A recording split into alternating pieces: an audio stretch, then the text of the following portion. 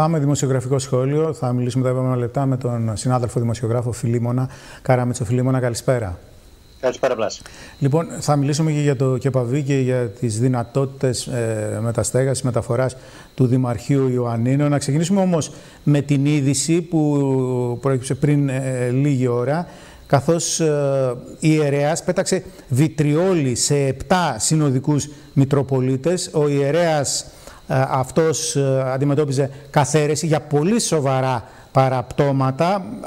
Αφορά στην περιοχή της Βέρειας, από εκεί, εκεί ήταν η ενορία αυτού του ιερέα. Τώρα, σε αυτούς τους 7 Μητροπολίτες είναι και ο Κονίτσης, Ανδρέας, αλλά και ο Άρτας, Καλίνικος. Φιλίμωνα, ναι, δεν έχουμε πληροφορίες. Ε... Νοσηλεύονται, αλλά δεν κινδυνεύει η ζωή τους. Ναι, Λένε οι πληροφορίες που έχουμε αυτή, αυτή τη στιγμή. Ναι. Δεν έχουμε πολύ εξε, εξειδικευμένη πληροφόρηση. Ναι, ναι, μεταδίδονται από τα πρακτορία ειδήσει. Είναι ένα πρωτοφανές γεγονός. Έχει προκαλέσει πολύ μεγάλη εντύπωση. Ευχή όλων φυσικά είναι ε, όλοι ε, όσοι βλάφτηκαν να ξεπεράσουν τα προβλήματα υγείας τους και γρήγορα να είναι καλά. Δεν φαίνεται να υπάρχει απειλή για την υγεία ε, δραματική κανενός αλλά υπάρχει πολύ μεγάλη κινητοποίηση, υπήρξε άμεση κινητοποίηση, ε, όσοι χρειάστηκαν βοήθεια να πάνε στα, στα νοσοκομεία, ε, υπάρχει, υπήρξε κινητοποίηση του Υπουργού Υγείας, το ενδιαφέρον του Πρωθυπουργού, της Προέδρου της Δημοκρατίας, ο Αρχιεπίσκοπος ε, ήταν εκεί. Είναι πρωτοφανές γεγονός γιατί είναι μια, ένα γεγονός αγριότητας ε, που μας έρχεται από, πώς να το πούμε, απρόοπτα, μας προκαλεί δηλαδή ε, πολύ μεγάλη συγκίνηση και αποτροπιασμό. Είναι τέτοια πράξη δηλαδή στις μέρες μας τόσο έντονη απέναντι σε ανθρώπους ε, της Εκκλησίας είναι, θα έλεγα, είναι, είναι αυτή η έννοια του πρωτόγνωρου. Ε, γι' αυτό και νομίζω προκαλεί και τη συγκίνηση της ε, κοινής νόμης. Να ευχηθούμε να πάνε όλα καλά ε, για όλους τους ανθρώπους. Α ελπίσουμε αυτό. Α ελπίσουμε οι πληροφορίες που μιλούν ε, για νοσηλεία, χωρίς κίνδυνο όμως κανέναν για την ζωή τους, να είναι ακριβείς αυτές οι πληροφορίες και για τους 7 Μητροπολίτες και βέβαια για τους δικούς μας εδώ, για τον Κονίτσι Σανδρέα και τον Άρτας Καλίνικο. Πάμε στο ζήτημα του ΚΕΠΑΒΗ. Θέλω να ακούσω τις δικές σου σκέψεις. Ακούσαμε στο προηγούμενο ρεπορτάζ, ακούσαμε και τον Φίλιππο Αφίλιο με τον οποίο μίλησα ζωντανά πριν λίγο. Υπάρχει αυτή η προοπτική μεταστέγασης του Δημαρχείου. Καταρχάς, υπάρχει πρόθεση μεταστέγασης του Δημαρχείου από εκεί που βρίσκεται σήμερα. Τώρα, αυτή η προοπτική μεταστέγασης στο ΚΕΠΑΒ φαίνεται ότι μπλοκάρει στην άρνηση ακόμη και για συζήτηση της Γενικής Συνέλευσης της ΚΕΠΑΒ ΑΕ. Υπάρχει προοπτική μεταστέγασης στη Δομπόλη. Υπάρχει αυτό που είπε ο Νίκος Γκόντας, η πρόταση Νίκου Γκόντα εδώ και πολύ καιρό για δημιουργία ενός κτηρίου Δημαρχείου στην Λαϊκή Αγορά, Αγίας Μαρίνας, εκεί στο χώρο. Ε, υπάρχουν κάποιες ε, προτάσεις.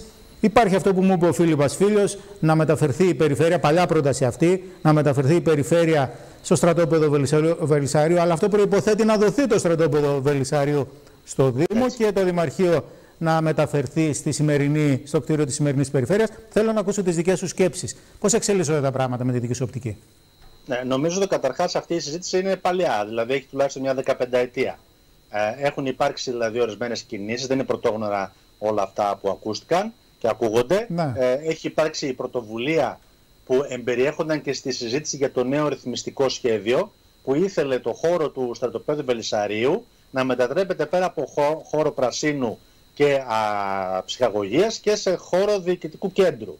Να έχει ένα χώρο. Οπότε εκεί η δημιουργία του διοικητικού κέντρου θα μπορούσε να δημιουργήσει τα δεδομένα για αλλαγή χρήσης του κτηρίου της περιφέρειας, θα μπορούσε να γίνει δημαρχείο κλπ. Αυτό δηλαδή έχει τουλάχιστον μια 15 ετία.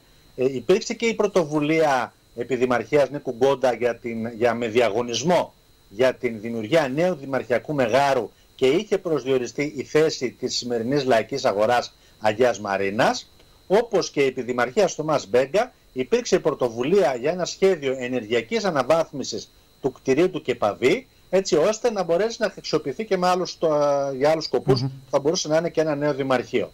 Άρα κινήσεις έγιναν, όμως δεν έγιναν ε, σε ένα τέτοιο αποτελεσματικό ε, επίπεδο, ώστε να είμαστε πιο κοντά στην ε, τεχνική λύση, στην ουσία στην υλοποίηση.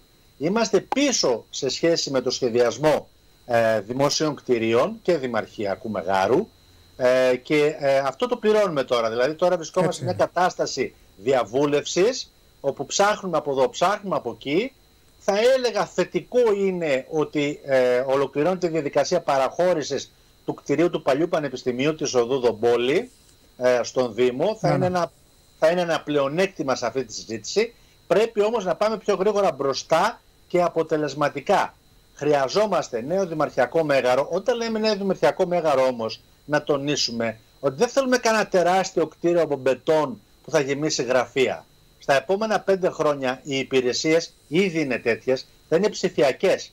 Θα χρειαζόμαστε λιγότερους υπαλλήλους, λιγότερα γραφεία, άρα χρειαζόμαστε έναν σύγχρονο βιοκλιματικό χώρο που να είναι το επίκεντρο των διεργασιών του Δήμου, που θα μπορούσε να έχει και άλλες διεργασίες, για παράδειγμα μια αίθουσα για τελετές, γάμοι, εκδηλώσεις, ε, ε, αίθουσες που θα μπορούσαν να χρησιμοποιούνται από τους πολίτες για δημόσιες δράσεις. Αυτό είναι το νέο Δημαρχείο. Δεν είναι κάτι δηλαδή όπως το έχουμε στο μυαλό μας, μια σειρά ολόκληρη από γραφεία.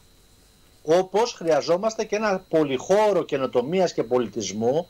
Να σας πω το παράδειγμα της αξιοποίησης του παλιού καπνεργοστασίου στην Αθήνα από τη Βουλή, που εγκαινιάστηκε πριν από λίγες μέρες από τον Κώστα Δασούλα, που ε, εκτίθεται η πιο, μια από τις μεγαλύτερες συλλογές, συλλογή Δασκαλόπουλου του Ιδρύματος Νέων Μοντέρνα Τέχνης. Έτσι λειτουργούν πλέον τα κτίρια. Μην έχουμε δηλαδή στο μυαλό μας κάτι στατικό και βαρύ. Ένα παλιό δημαρχείο, ένα μεγάλο χώρο που είναι γεμάτο σε υπηρεσίες, κόσμο που μπαινοβγαίνει. Έχεις απόλυτο θέλουμε, δίκιο. Θέλουμε κόσμο να μπαίνει παντού. Θέλουμε να είναι ο κόσμος αυτός άνετος σε έναν σύγχρονο οικολογικό χώρο και οι χώροι που θα πρέπει να αξιοποιούνται πλέον από την πόλη να, έχουν, να βλέπουν μπροστά. Έτσι υπάρχει και η πρόταση αξιοποίησης του παλιού πανεπιστημίου για ένα σύγχρονο πολυχώρο πολιτισμού, ε, μοντέρνας τέχνης, η πρόταση κολοκυθά, όπως λέμε, που θα δώσει νέα όθηση ε, στην πόλη, θα δημιουργήσει ένα νέο τοπόσιμο. Νομίζω δηλαδή το κρίσιμο τώρα δεν είναι να κουβεντιάζει ο καθένας με τα παραδείγματα που έχει στο μυαλό του ίσως για πέντε χρόνια. Είναι τον επόμενο χρόνο να μπούμε σε μια διαδικασία α, mm-hmm. πρότασης συγκεκριμένης και τεχνικής μελέτης προφανώς διαγωνισμών ε, δεν γίνεται αλλιώς. Διεθνών διαγωνισμό θα λέγαμε. Και εγώ νομίζω εκεί θα μπορούσαμε να ξαναδούμε τα πάντα. Και το ΚΕΠΑΒΗ και το χώρο στην Αγία Μαρίνα, πώς θα μπορούσε να αξιοποιηθεί. Ε, είμαστε μπροστά σε αυτά τα δεδομένα. Θέλει ίσως τόλμη, θα έλεγα. Και το Βελισάριο, αλλά είναι κάτι μεγαλύτερο και χρειάζεται ίσως περισσότερο χρόνο. Ευχαριστώ πολύ, Φιλίμωνα. Και περισσότερες συνεργασίες, ε, Βλάσσα. Συνεργαστούμε έτσι. κάποτε να πάμε λίγο πιο μπροστά. Δεν υπάρχει αλάθητο. Mm-hmm. Να βάλουμε και τις αθλητικές εγκαταστάσεις μέσα, να βάλουμε και τα νέα γήπεδα Κανένας δεν έχει τη μαγική λύση πάντως. Έτσι είναι. Μαζί σου. Ευχαριστώ πολύ Φιλίμωνα. Να σε καλά. Θα τα ξαναπούμε.